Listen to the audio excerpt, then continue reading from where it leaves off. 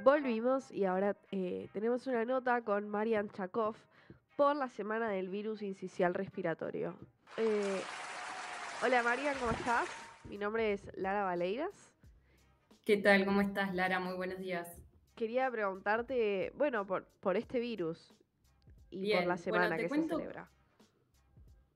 Bien, te cuento que el virus incisional respiratorio es un virus común, es un virus de fácil transmisión, es un virus que no es nuevo, ¿sí? Que ya lo conocíamos sobre todo porque es la principal causa de bronquiolitis en los lactantes, en los más chiquititos. Lo que no conocíamos era el gran impacto que tiene, sobre todo en adultos mayores y aquellos que tienen enfermedades de base, por ejemplo, pacientes con asma, EPOC, diabetes, insuficiencia cardíaca, son pacientes que pueden llegar a presentar ciertas complicaciones que incluso requieran internación, por eso es importante concientizar. Y quería preguntarte, ¿qué, ¿qué, es lo que lo diferencia de un virus común, de un virus, de una gripe, de un resfriado? Bien, mira, te cuento que clínicamente no hay diferencias, ¿sí? La verdad es que se presenta igual que el virus de la gripe, por ejemplo. Entonces, inicialmente vos podés tener dolor de cabeza, goteo nasal, congestión. Este quizás distinto al virus de influenza o de gripe no da tanta fiebre, pero se va a presentar igual. Lo que sucede es que en estos pacientes, como te digo, quizás adultos mayores desde los 60 años o pacientes que ya tienen enfermedades de base, puede presentar incluso más complicaciones que el virus de la gripe, ¿sí? Puede presentar neumonía o un paciente que ya tiene asma o EPOC puede reagudizar esa enfermedad de base, exacerbarse, O pacientes que ya tienen algo de compromiso cardiovascular, hagan un infarto, una ACV. Normalmente, y distinto a la gripe, cuando un paciente por virus incisional respiratorio se llega a complicar y se termina internando, lo que es la internación dura más tiempo, si es por sincicial que por gripe. Los pacientes suelen requerir más oxígeno cuando es por sincicial que por gripe. Y a veces la evolución puede dar incluso más mortalidad que por la gripe. Entonces es importante prevenirlo. Es un virus que tiene, que por suerte es menos frecuente que la gripe, pero circula igual que la gripe y lo estamos viendo más allá de solo el invierno, ¿no? Casi todo el año. ¿Y cómo se transmite? Bien, bueno, te, cuento. Se transmite igual que el virus de la gripe o los virus ah. respiratorios, ¿sí? Por secreciones contaminadas, cuando nosotros estornudamos o tosemos y eliminamos esas gotitas, Podemos llegar a contagiar a otros y cuando tomamos contacto directo con superficies que están contaminadas. Por eso es muy importante el lavado de manos, ventilar los ambientes y si vamos a toser o estornudar, seguir cubriéndonos ¿sí? con, el codo para evitar propagar esas gotitas que pueden contagiar a otro. De hecho, sabemos que, por ejemplo, una persona que está cursando enfermedad por virus incisional respiratorio puede contagiar la enfermedad a tres personas. Entonces, puedo estar contagiado y llevar el virus a casa y ya contagio a todo mi núcleo familiar. O puedo tener un bebito con bronquiolitis que contagia a ese abuelo adulto que lo cuida, o al revés es un virus contagioso. Y con respecto al tratamiento, ¿se pasa así como un virus normal? ¿Se va solo o requiere algún tratamiento, algún antibiótico? Bien, es muy buena tu pregunta. Y la verdad es que no hay un tratamiento específico, ¿sí? Vamos a hacer tratamiento de los síntomas. Si tenemos fiebre, bajar la fiebre, reposo, tomar líquidos, ¿sí? Pero es muy importante que en cuanto aparezcan síntomas respiratorios, igualmente consultemos a la guardia, que no nos automediquemos, ¿sí? ¿Por qué? Porque sobre todo estos grupos de riesgo que mencionábamos, queremos evitar las complicaciones. Entonces es importante que un médico nos diga, bueno, cómo estamos y cómo, cuáles son los pasos a seguir, ¿no? Pero siempre con un control de algún médico. Sí. Y en cuanto a la prevención, ¿hay alguna vacuna, algo que podamos hacer para evitar, más allá de esto de que habías de cuando toses, taparte la boca, estornudar, como esos cuidados típicos de los virus, ¿hay alguno que sea más específico para este? Bien, la verdad es que sí, existen estrategias de prevención con vacuna en nuestro país para adultos a partir de los 60 años. Al día de hoy todavía en forma privada, no forma parte de calendario, ¿sí?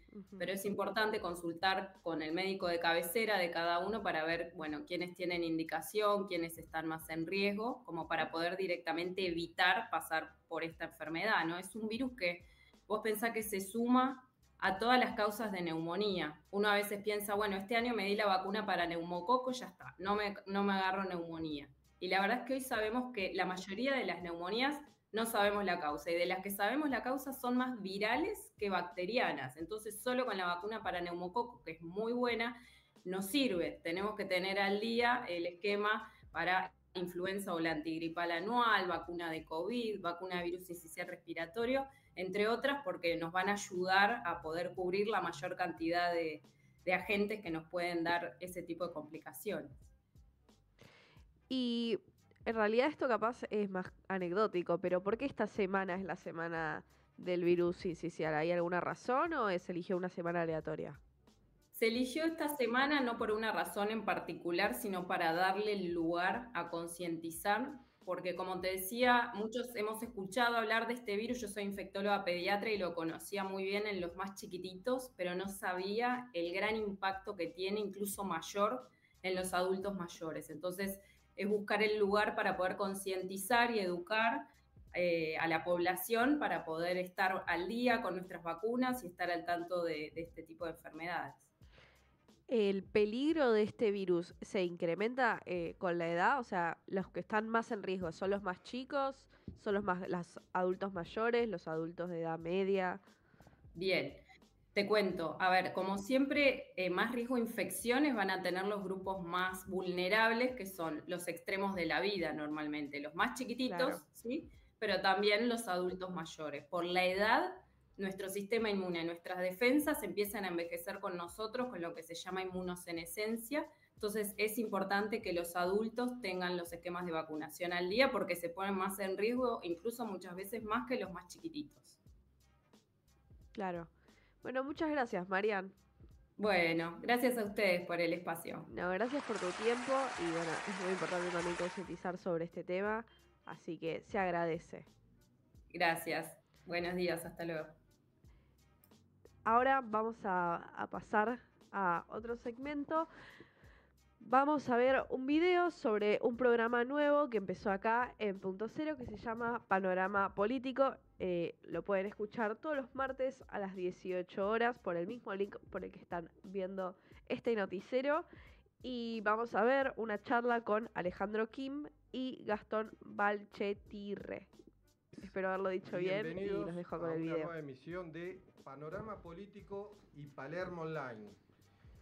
Estamos iniciando este, este recorrido en un nuevo lugar, en una nueva casa, en una nueva radio. ¿Cómo estás, Pablo?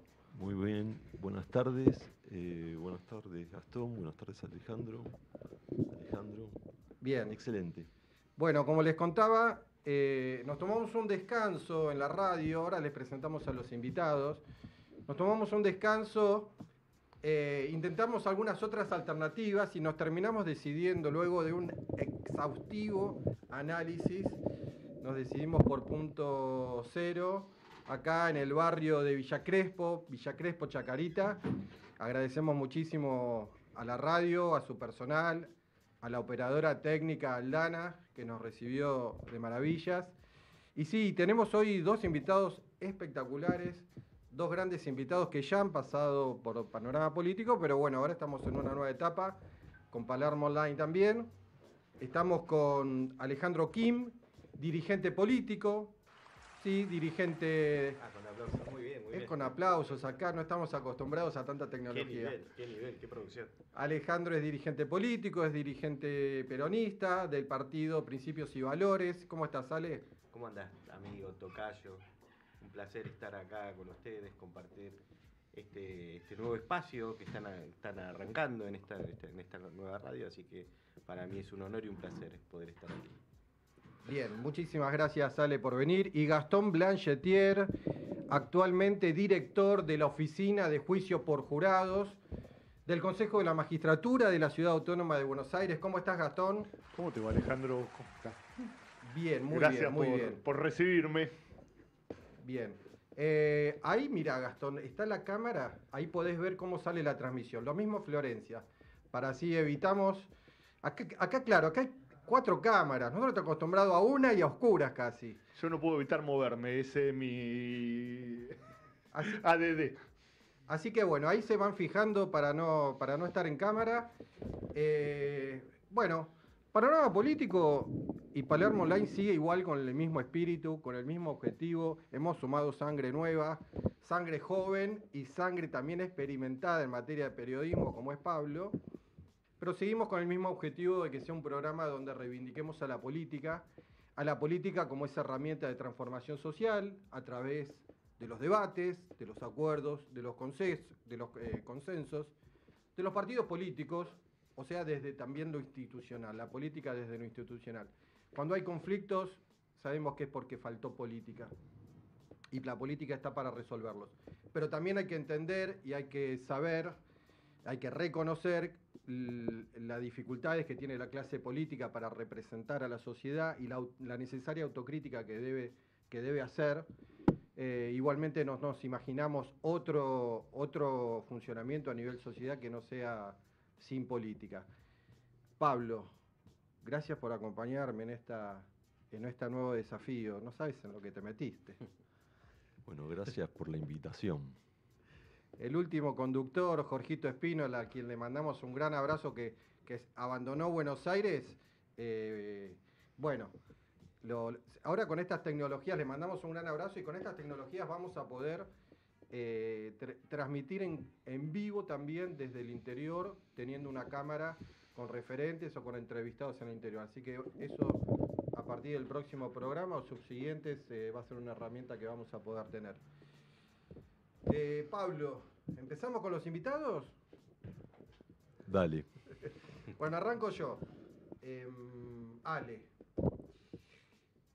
justamente hablábamos de la política, ¿no? Y nos interesa especialmente que los oyentes y televidentes conozcan al invitado también desde lo personal, que eh, sin el cassette, ¿viste? Sí. Eh, por eso está bueno que la gente sepa que ustedes son de carne y hueso, con compromisos, con convicciones, con angustias, con dificultades.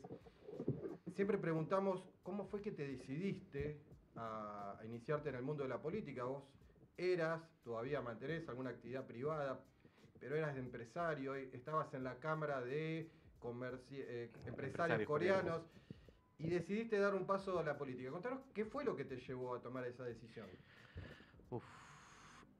bueno, ante todo soy abogado, este, porque el, el, público se renueva, así que vamos a comentar un poco de mi historia. Bien. Eh, soy abogado, antes de dedicarme a la profesión tuve un local este, comercial en la avenida Avellaneda.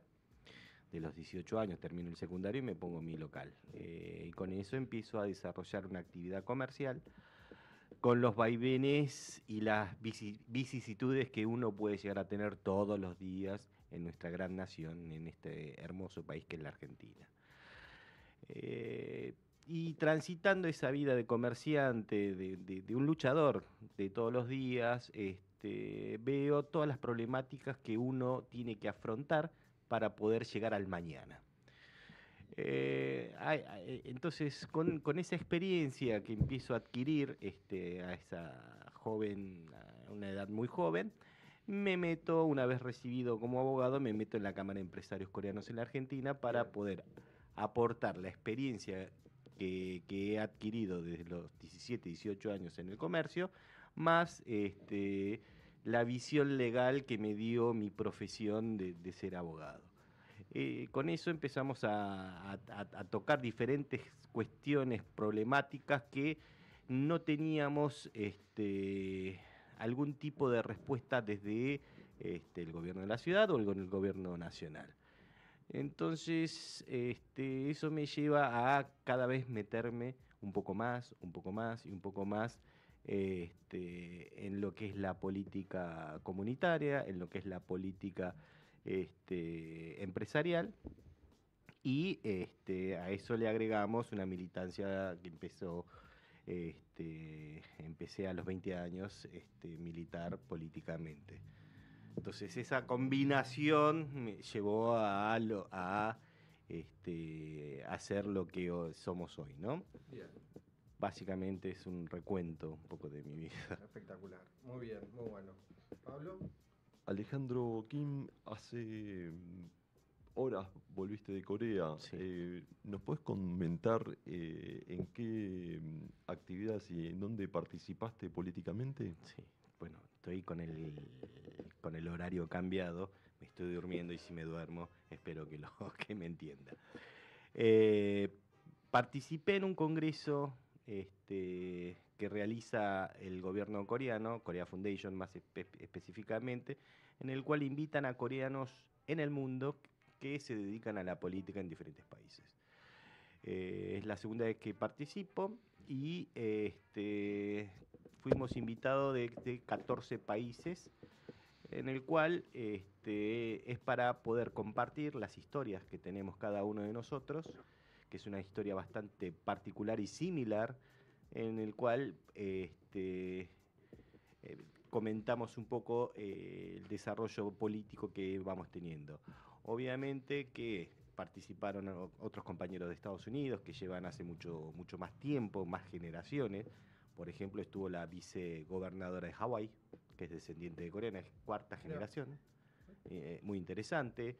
De, este, congresistas americanos, este, está el candidato a senador nacional de, de, los Estados Unidos por el estado de Nueva Jersey, este, gente de Europa, de Canadá, teníamos este, senadoras canadienses, ex ministra canadiense. Hay coreanos haciendo política por todo por el mundo. todo el mundo. Muchos alcaldes este, de diferentes ciudades en los Estados Unidos, concejales de Australia, este, de Londres, eh, de diferentes partes del mundo, de, de, Alemania, Uzbekistán y todos los están que hay, perdón, eh, países provenientes de la Unión Soviética, pero tenemos una matriz en común todos, que provenimos de este, ascendientes coreanos. Entonces este, se armó eh, este, una camadería que es muy buena y lo que busca es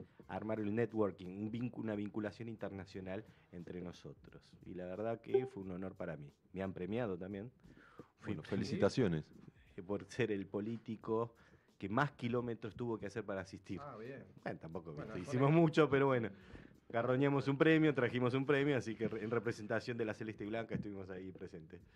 Bueno, muy bien, muy bien. Gastón, Alejandro. Bueno, preguntarte un poco lo mismo. ¿Cómo fue que te decidiste meterte en política? ¿Sos abogado de profesión?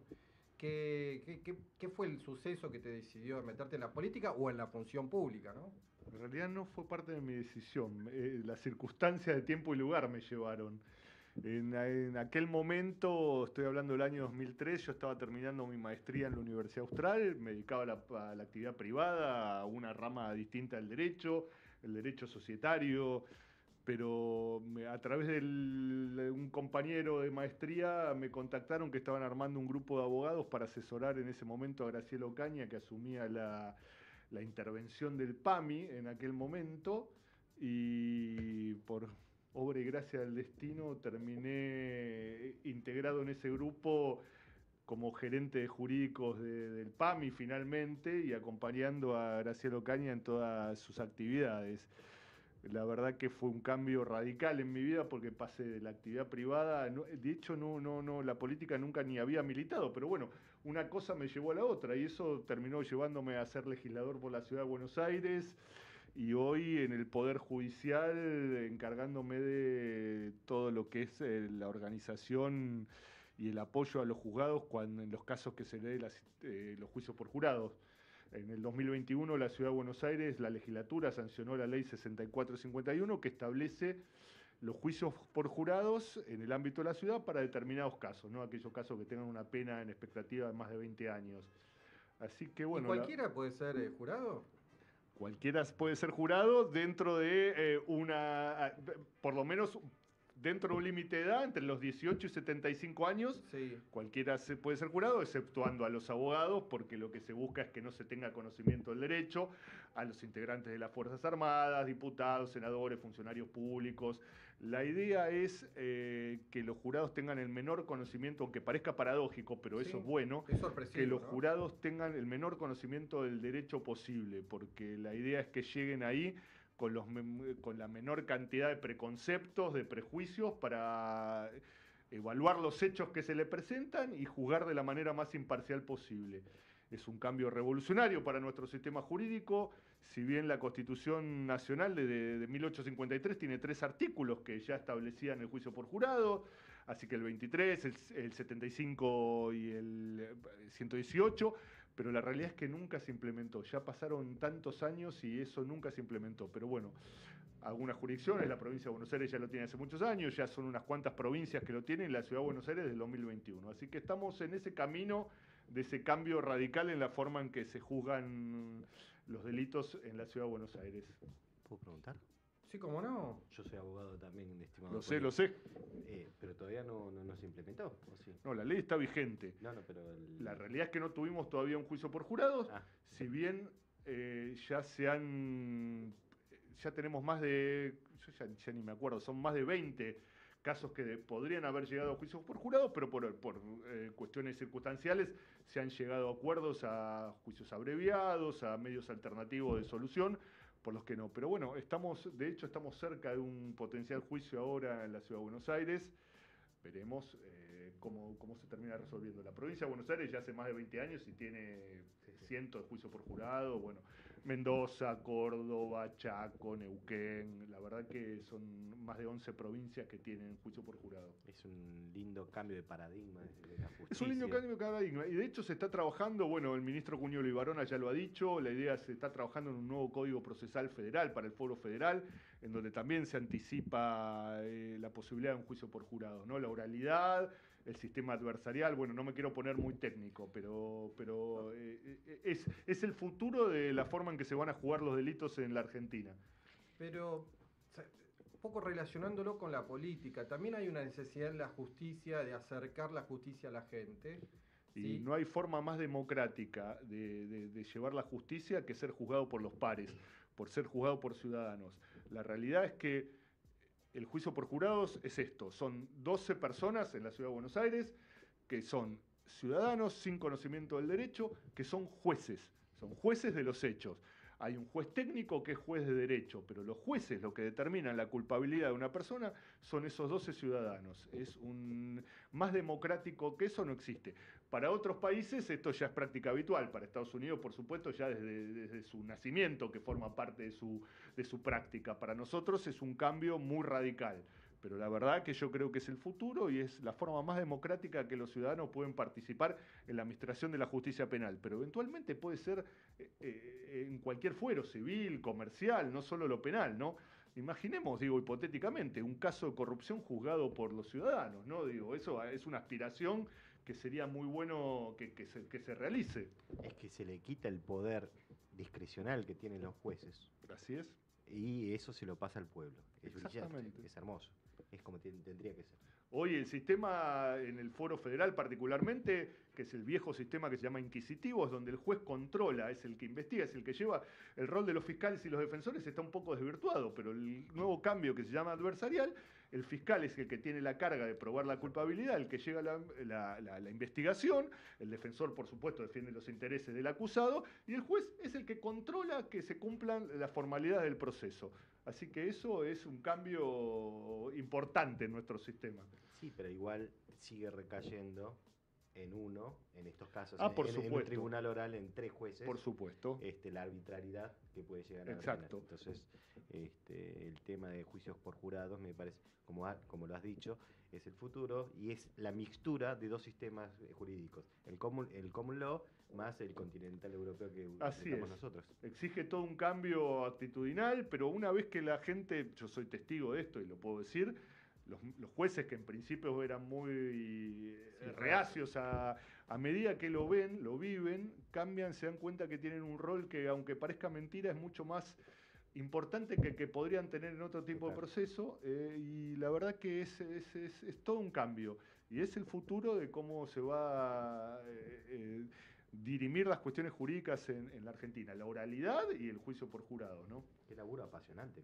es espectacular, la verdad Tal vez para nosotros los, abogados lo que está realizando es apasionante. Yo no lo pedí, pero la verdad es que estoy muy agradecido porque es espectacular ser parte de este cambio y, ver cómo, cómo cambia el ejercicio de la profesión. En eso soy eh, eh, muy agradecido. Pablo. Este, Gastón, eh, a los que eligen como jurados, Sí. ¿van a tener una retribución, una protección? Porque ustedes son abogados, lo ven desde el lado, del otro lado del- de la justicia, pero para el de el- la persona de a pie tiene otros intereses. Así es. Bueno, en primer lugar, la ley, la, la ley de la Ciudad de Buenos Aires establece que es una carga pública ser jurado. Es lo mismo que votar, entonces es una obligación del ciudadano. El ciudadano lo tiene que entender así. La carga pública, pero no en un mal sentido, sino en un buen sentido, que es un honor, es un deber que tiene él para ser parte de la Administración de Justicia.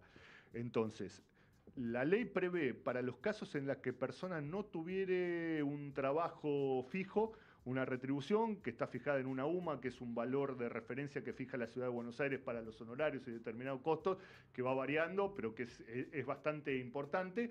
En el caso de las personas que estén en relación de dependencia, por supuesto, se emite un certificado y todo, no pueden sufrir ningún tipo, ni perder la presencialidad, ni ningún tipo de- de- con el empleador no le puede aplicar ninguna sanción ni nada, digo, porque viene relacionado con que es una carga pública y porque la ley así lo establece. Pero sí tiene una retribución, se le reconocen a todos los viáticos para que se acerquen y todo, así que sí, la verdad que, que en ese sentido van a estar cubiertos. Es como Volvimos y ahora, antes de cerrar el Noti, tenemos una última nota con Patricio Olivera Abdala, que es nuestro columnista de noticias internacionales, pero antes vamos a ir a unos audios.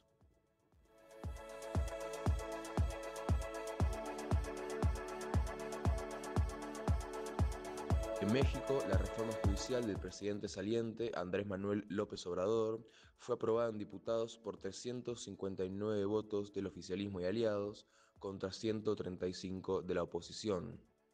El proyecto propone la elección popular de los jueces y la reducción de 11 a 9 miembros de la Corte Suprema de Justicia. Ahora deberá pasar al Senado, donde se espera un tratamiento más parejo. López Obrador felicitó a los legisladores que están buscando limpiar de corrupción el Poder Judicial. Mientras tanto, Claudia Sheinbaum, la candidata electa, presidenta electa de México, espera su asunción para el próximo primero de octubre.